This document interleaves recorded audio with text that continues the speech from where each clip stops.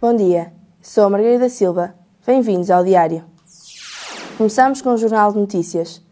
Apresenta um, um destaque para um exclusivo, uma notícia que SAD de Boa Vista está à beira da falência. O Tribunal chumbou o plano de recuperação de 40 milhões de euros. Se não chegarem a acordo, os credores podem pedir a venda do património. O inferno das drogas nos bairros do Porto.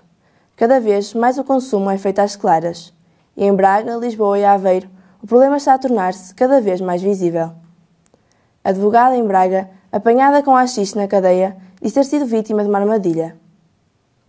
Excesso de arianas em hospitais privados. No público, Governo pede a Carlos Costa mais uma mulher no Banco de Portugal.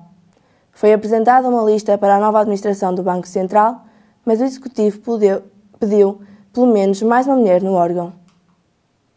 Paulo Núncio escondeu dos deputados números dos offshores. A Comissão Europeia apresenta hoje cinco cenários para o futuro da Europa. Construção começa a dar sinais de recuperação. Os resultados do PIB assim o devem confirmar. No Correio da Manhã, destaque para a polícia corrupto que recebe 400 mil euros da PJ. Sete anos em que esteve preso contaram para a amenização. O inspetor apanhou 12 anos, mas ganhou o processo administrativo. Mitroglou empurra as águias para o Jamor. 29 milhões voam para offshores entre 2010 e 2015. O jornal I dá a conhecer os novos sacrifícios dos católicos com o início da Quaresma. O dinheiro oferecido às paróquias vai ser enviado para refugiados, cristãos, perseguidos e associações de apoio à maternidade. Paulo Ralha, do Sindicato dos Trabalhadores dos Impostos, diz haver um apagão dos relatórios de combate à fraude e evasão fiscal entre 2011 e 2014. Apresentam também uma reportagem de Carnaval de Torres Vedras do lado daqueles que não podem usar máscaras. Na área desportiva, o jogo. Apresenta como título destaque Só dá grego.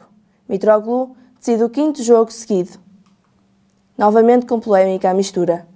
O tribunal considera que o segundo golo das Águias foi mal validado. No Sporting, Juan Ramos estuda plantel já há um mês.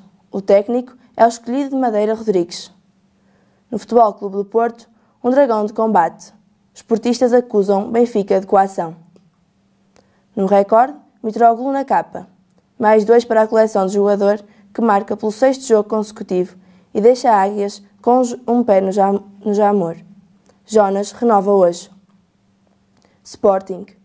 João Ramos é treinador da lista A.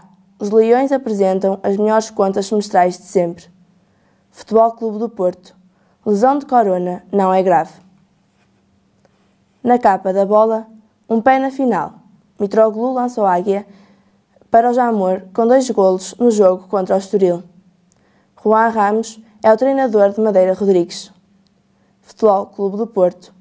Macelha, Diogo de olho em André Silva e Brahimi. Na imprensa cor-de-rosa, anunciamos a caras. Carolina, Carolina Patrocínio, peço desculpa, na passadeira vermelha dos Oscars, entre o desfile das estrelas. Voltamos amanhã com novas notícias.